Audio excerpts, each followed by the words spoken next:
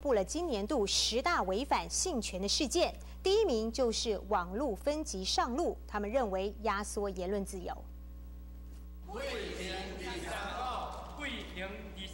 长期关注性别人权的民间团体大声疾呼废除刑法第二三五条，宣誓成立废二三五行动联盟，希望可以早日将这项不合时宜、违反性权的法条废除。经济书库负责人就是因为贩售难题写真而被以违反妨害风化罪起诉，不过他要站出来针对此法的不合理申请释宪。你会引起一般人所谓的呃羞耻感哦，引起一般人性欲跟罪恶感，同时也有这个呃性道德的侵害。那你就呃确定这个你是犯了刑法二三五。那各位如果听了我刚刚的那个说法，啊，引起一般人的性欲，又羞耻又罪恶，那这个东西其实都非常的抽象。民间团体也票选出今年度十大违反性权的事件，第一名是网络分级上路，违反言论自由；第二名就是警方的夏节专案，取缔租书店贩售猥亵出版品；还有精英书库事件，禁止同志性工作者捐血；李信玉取经生子，保险套列医疗器材，取缔色情大小眼，公布槟榔西施父母名字等，全都名列其中。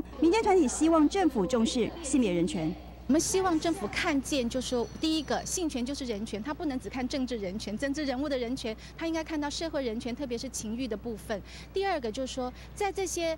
呃情欲人权，我们说的性权被侵害的事件里面，我们已经发现很多是制制度性的问题。性别人权团体强调，性权也是人权之一，政府应该重视社会性别的多元化，不要以刻板性别印象压抑多元性别意识的存在空间。公视新闻林信荣宗采访报道。